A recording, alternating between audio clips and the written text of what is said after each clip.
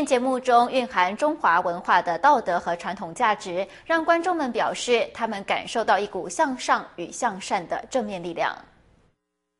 哇，我觉得那个整个的舞裙太美了，这觉得就是那种真善美的呈现。那像这么样一种，不管是服装或者是动作哈，都是非常的漂亮，而且整齐整齐划一的，相当令人赞叹，真的。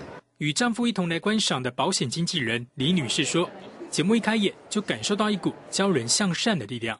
一开场的那个开演的那个，其实我就震撼到了。那在第一个部分的时候，我就有感受到那种感觉。对，那还有在最后收场，还有这中间过程的一个桥段。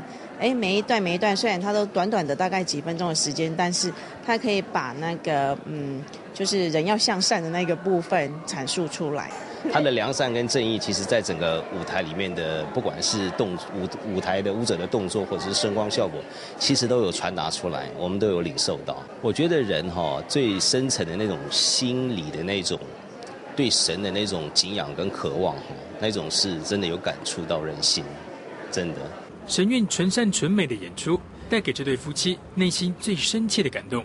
新唐人有的电视黄金宇、佘志成，台湾桃园采访报道。